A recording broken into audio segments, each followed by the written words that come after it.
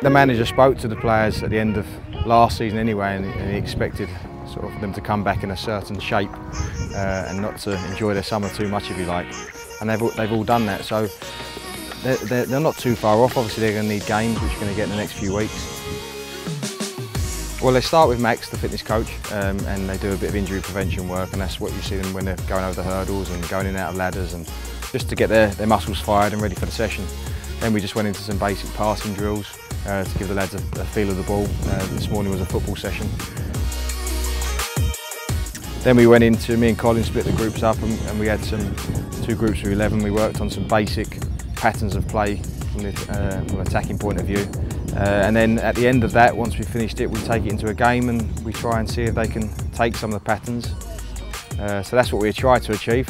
Um, there's always um, something we have a, we have ideas going into the session that we want to bring out, and, and that's what it was today. Well, I've worked with the manager for a long time now, so I've, I've kind of I've got a feel for what he, he, he, likes and what he doesn't like. We have a plan going into the pre-season of, of what we intend to do, but that can change. You've got to be flexible. There's going to be some days where the players have worked hard and maybe you was expecting and they're feeling a little bit stiffer than you was expecting, so you, you, you have to adapt. But the manager's heavily involved and obviously he has the final say in everything we do.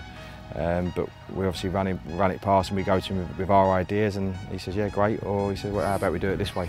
Um, sometimes when the season gets started, when we came in, me and the manager in October, basically playing Saturday, Tuesday, Saturday, Tuesday, it's very hard to actually put some of that stuff into them because generally they're playing and then they're recovering and then it might be a day before a game and you're trying to get little bits into them but you don't want to overwork them because then they'll be tired for the game the next day. So we've managed up to now to start the season quite well with previous clubs so we're hoping to do the same here.